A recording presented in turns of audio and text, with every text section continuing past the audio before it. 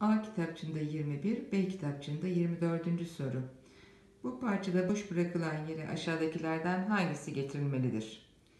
Makale ve araştırmalar ile tanınan nokta nokta, yazılarında derin bir bilgi birikiminin yanı sıra kendine özgü düşünce ve yorumlarıyla dikkat çeker. Ülke meselelerini, hayatı bu bakışla ele alır. Doğu Batı medeniyetleri üzerine araştırmalar yapmış, dilin millet için önemi üzerine durmuştur. Bu ülke aydın ve halkı birbirinden ayıran duvarları yıkmak amacıyla yazdığı denemelerinin yer aldığı bir kitaptır. Yukarıda söz edilen sanatçı Cemil Meriç'tir. Bu ülke adlı eserin deneme türünde yazılmış bir eserin sahibi olmak bile yetiyor. C seçeneği doğru cevap. Bunun dışında Cemil Meriç'i anlatan bir başka önemli sözde Doğu Batı medeniyetleri üzerine araştırmalar yapmış olmaktır.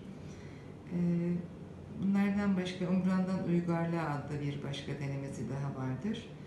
Ee, jurnal günlük türünde hazırlanmış eseridir.